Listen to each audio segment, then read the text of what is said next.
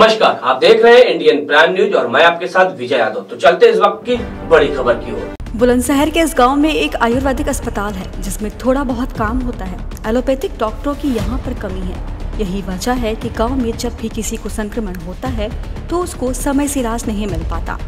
जिसके चलते गाँव में अब तक 22 मौतें हो गई है। गाँव में स्वास्थ्य विभाग की टीम कुछ दिन पहले आई थी। उन्होंने जाँच भी की, मगर रिपोर्ट अभी तक पेंडिंग है। बुलंदशहर से सात किलोमीटर दूर नैथला हसनपुर गाँव में पिछले 20 से 25 दिनों में कोरोना जैसे लक्षणों की वजह से 22 लोगों की मौत हो गई है। गाँव वाले इस वजह से सकते में हैं और गाँव में सन्नाटा पसरा हुआ है। इंडियन प्राइम न्यूज़ की टीम जब इस गाँव में ग्राउंड रिपोर्ट के लिए पहुँची तो गाँव के लोगों में कोरोना नियमों के पालन में कोई संजीदगी नहीं दिखाई पड़ रही थी।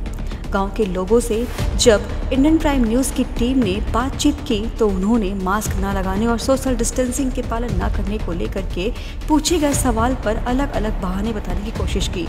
कुछ गाँव ने बताया कि वह अभी घर में मौजूद थे। जब घर से बाहर निकले तो मास्क लगाना भूल गए। कुछ लोगों ने मास्क न लगाने और सोशल डिस्टेंसिंग का पालन न करने के पीछे अलग ही बहाना बताया। उन्होंने कहा कि इससे पहले वह सब नियमों का पालन करते थे, लेकिन आज वह भूल गए हैं। लेकिन जब सामने आए तो बात कुछ और ही थी। गाँव के एक बुज़ुर्ग व्यक्ति जिनकी उम्र करीब अट्ठावन साल थी, उन्होंने बताया कि उनको दमा की बीमारी है। इसलिए जब भी वह मास्क लगाते हैं तो उनको सांस लेने में तकलीफ़ होती है। इसी वजह से वह मास्क नहीं लगाते। पर इस पर गाँव में जिस तरीके से कोरोना का कहर है, वैसे में लोगों में जागरूकता की कमी दिखाई पड़ रही है। गाँव के प्रधान प्रियंक कौशिक ने बताया कि गाँव में स्वास्थ्य सुविधाएँ एकदम ना के बराबर है। गाँव में एक आयुर्वेदिक अस्पताल है, जिसमें थोड़ा बहुत काम होता है। एलोपैथिक डॉक्टरों की यहाँ पर कमी है। यही वजह है कि गाँव में जब भी किसी को संक्रमण होता है तो उसको समय से इलाज नहीं मिल पाता, जिसके चलते गाँव में अब तक बाईस मौतें हो गई हैं। गाँव में स्वास्थ्य विभाग की टीम कुछ दिन पहले ही आई थी। उन्होंने जाँच भी किया, पर अभी तक रिपोर्ट पेंडिंग है।